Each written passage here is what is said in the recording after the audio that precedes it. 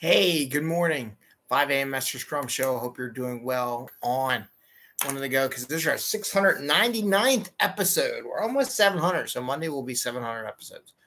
But today's topic, I wanted to talk about what value are you? Like, what is your value to the company? I was watching a video on bringing your value as a leader and all that kind of thing. And then I was thinking, the question I always get when can we get rid of the Scrum Master? When do we don't need the Agile coach anymore? So there's a real question out there. How do you prove your value to an organization? We're going to talk about that a little bit today. And this 5 a.m. Mester Scrum show, I'm Greg Mester, Scrum Master and Agile Coach. And here we talk about Agile and Scrum any practical and tactical way.